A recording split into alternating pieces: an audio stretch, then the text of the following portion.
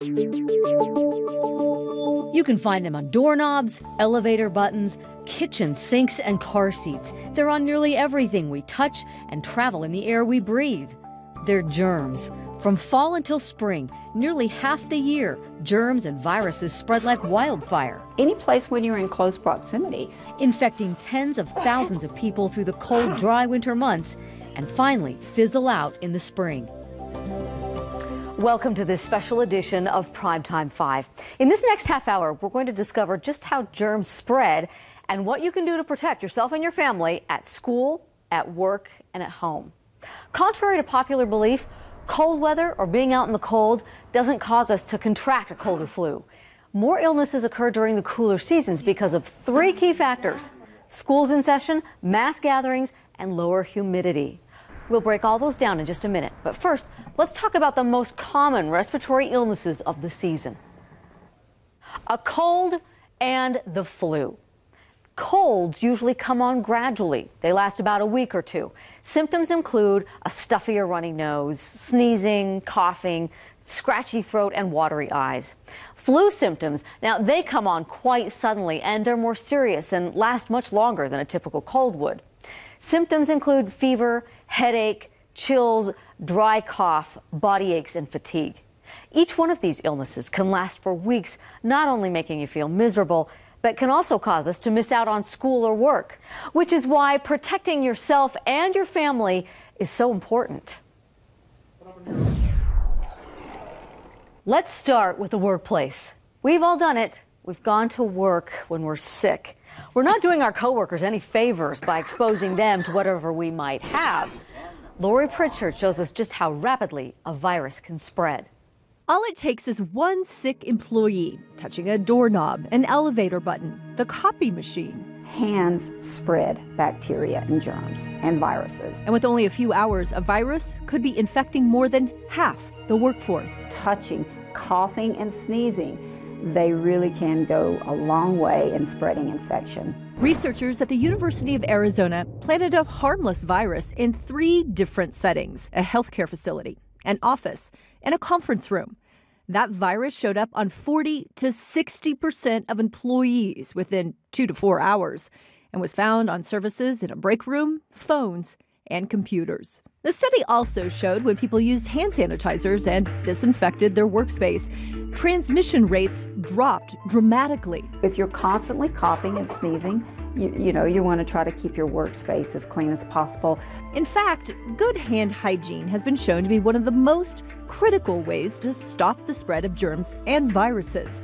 And all the effort may be ineffective if not done correctly. 20 seconds of vigorous rubbing, and it doesn't really have to be the warm or the cold water, it's the rubbing and the soap that's going to get those germs off of your hand. You can sing, you know, the happy birthday song through twice at a normal tempo. and with 5 to 20 percent of the U.S. population affected by the potentially deadly flu virus each year. We always encourage people, if they can, to stay home, whether it's from work or school.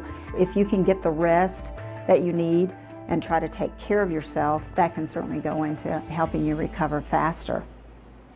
Now, one other tip when it comes to hand sanitizer make sure you have an alcohol, alcohol concentrate of 60% or more. The biggest mistake people make is not using enough and then not allowing it to dry. On site clinics have been popping up all across the U.S., from having a nurse practitioner on hand to a physician with a full staff. More and more large companies are discovering the benefits behind an on site clinic. It's an easy access for quality of care and uh, to help them stay on top of being healthy. I think an employer who's successful in operating an on-site clinic has to establish a culture of wellness and healing. And I think that's what US Synthetic has done extremely well. US Synthetic manufactures industrial diamonds for the energy industry and for drilling. Once we decided to move forward, we contacted Intermountain Healthcare. The healthcare center offers a full family practice environment. It's been open two years. It's not just for the employees, but all the family. I've worked with US Synthetic for eight years.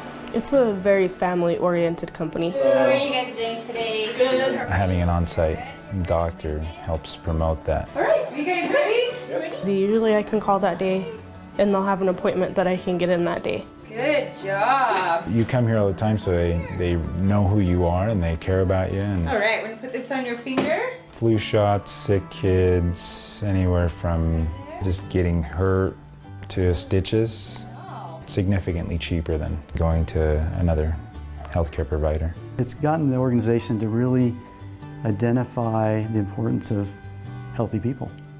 And providing these services here, we see people's lives change. It seems like people are a lot more proactive than reactive and People are, are the most important assets that any business has. And we we ought to do all we can to help our people. And this is one way we do that. Coming up, first grade students get a lesson on sharing, what parents can do to best protect kids from germs at school, and what's lurking in our homes might surprise you the hidden and unexpected places germs are hiding.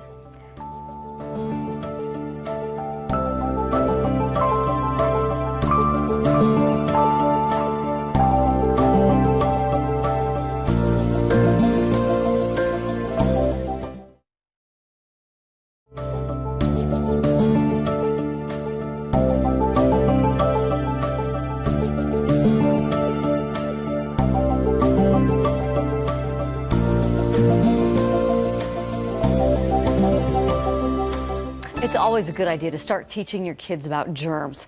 Brooke Walker tells us about a school where teaching kids about good hygiene is one of their top priorities. Raise your hand if you've ever been sick. Oh, Students at Howard R. Driggs Elementary are learning a very valuable lesson about sharing. do you think we have germs hiding in our classroom? Yes. Who's ready to be a germ detective? We're going to see if we can find any germs hiding in our classroom. In a school setting, we share everything, mostly germs. Can you see why it's so important to keep our hands clean? It's hard to see germs, isn't it? It's hard to see them, but they're there. And that's what makes us sick sometimes, right? A lesson Mrs. Bayer has been teaching since 1985. Here at Howard R. Driggs, we are a community that cares about our children. For the students to be able to learn effectively, they need to be healthy. Who thinks they know what we do when we cough or we sneeze? so I have to make sure that my mouth and my nose are covered by my arm or my sleeve, right?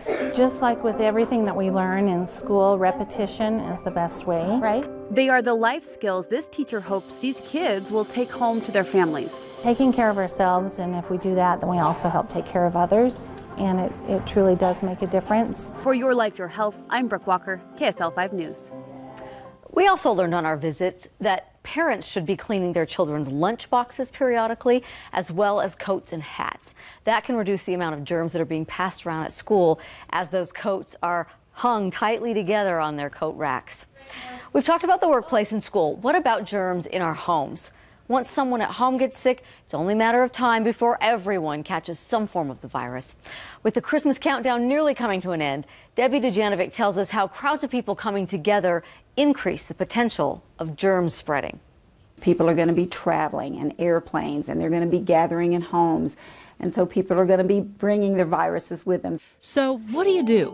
Well, make sure to clean surfaces around your home on a regular basis. Wash your hands thoroughly each time you return home to kill whatever germs you may have picked up along the way.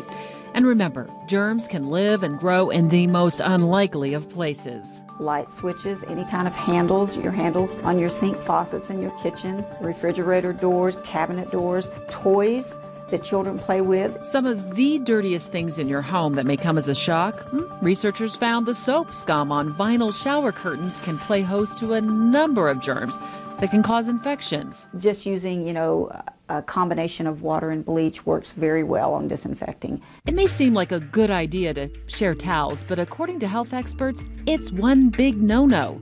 It's a good idea to replace hand towels frequently.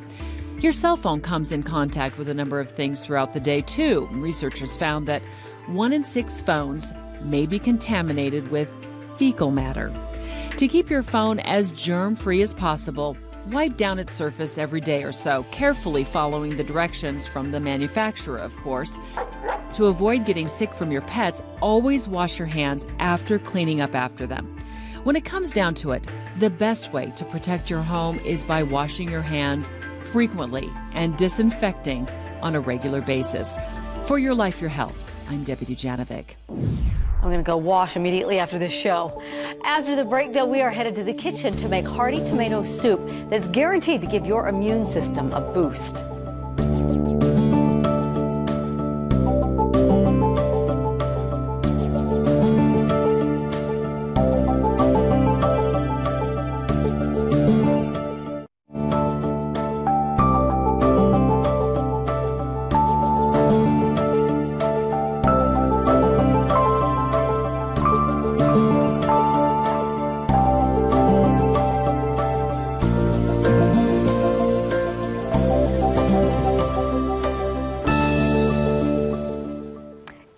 Healthy is the best way to keep your immune system at its best, but there are some foods that pack that extra punch. Janelle is here from Harmon's to help us know what those foods are. I hope one of them is this uh, soup that I'm smelling. It smells delicious. Yes, so this is a really easy soup. Um, we're making this because it is great for the immune system. We have, as you can see, we have some garlic and onions um, that we're going to put in here. Okay. Um, we're going to start with a little canola oil. Canola oil is wonderful because it has a nice balance of those omega-3s and omega-6s, and those are important for the immune system. Okay. Um, we're going to throw some garlic in here. Um, garlic actually is really wonderful for the digestive system. And onions too? Um, garlic and onions both, yes. Okay. Um, we're going to put some carrots in. We're going to get some nice vitamin A with that. Yep. And that also helps the immune system. Um, and then we're going to throw the garlic in. Sorry, I did that in backwards order, didn't That's I? okay. We, we, we can see it, so we know what you're talking about. So basically, we're going to get this sauteing up here.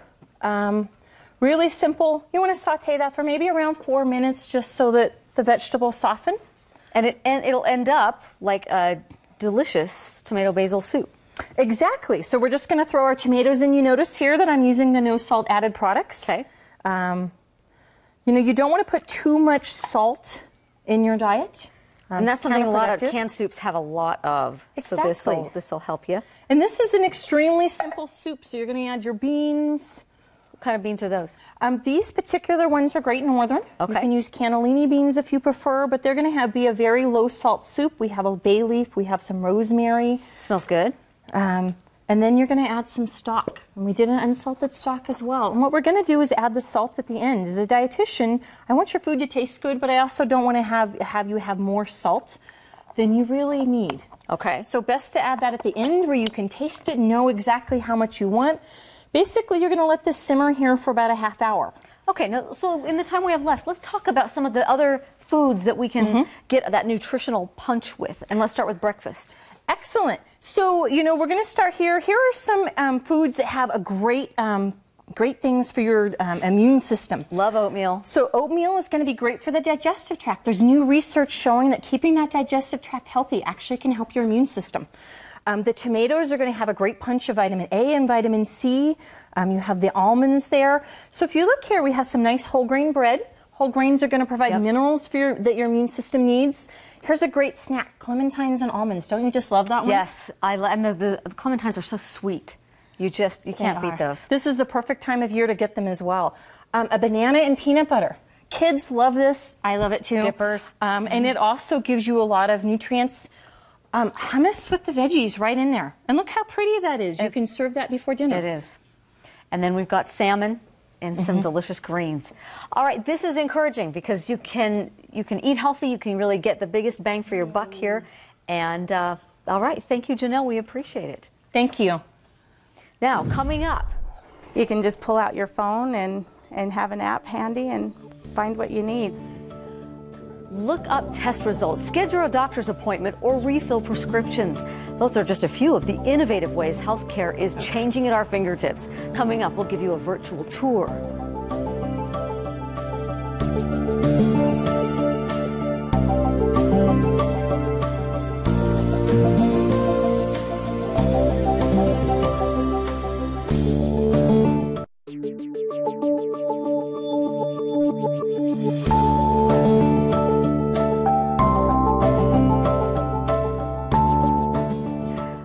We told you there was an app that could hold your place in line at the doctor's office, look up symptoms, pay bills, and much more? Intermountain Healthcare has just the tool that makes managing your health care easy. The Health Hub is a free mobile app that has uh, 10 tools that help people manage their health care. It was in September that I got full access to my son's medical records and started using it regularly. Simon is nine years old. He's nonverbal, legally deaf and blind. It's really handy because it helps me advocate better for Simon. One of the most popular features is our Instacare function. And that allows you to see Instacares around you and it shows the wait time at each. And then you can even go into the Instacare of your choice and save your place in line. So when you get to the actual Instacare, more often than not, you can just go right in to see the caregiver. A couple of the other ones that are really popular are our Germ Watch tool, and that displays the germs that are most prevalent in areas throughout the state. So there's a map and you can see what germs are, are really active around you, find out what the signs and symptoms are, find out how it's trending. Are, are more and more cases occurring in Utah or is it trending downward? The My Health is our patient portal, so you can get lab results and other features like that.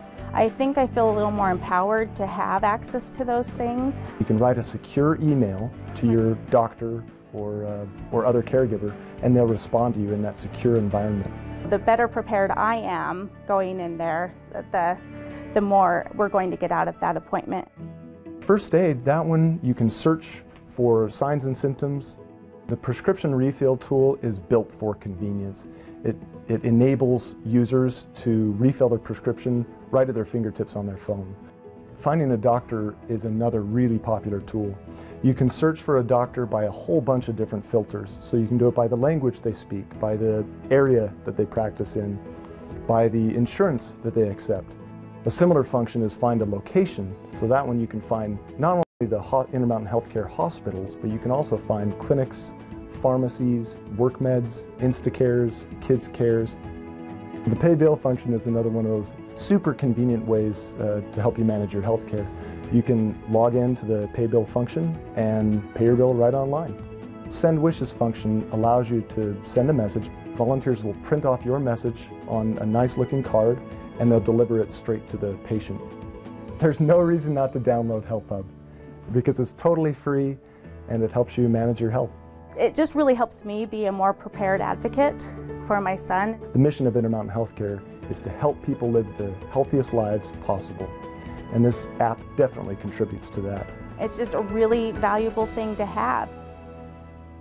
That's interesting. And so is this next one. If you have plans to fly this holiday season, travelers going through Salt Lake City International Airport can now get a flu shot while waiting in the terminal. Intermountain Healthcare operates the small flu shot clinic right inside the airport. This seasonal walk-in facility provides shots for $25. It's located in between Terminal 2, between concourses C and D.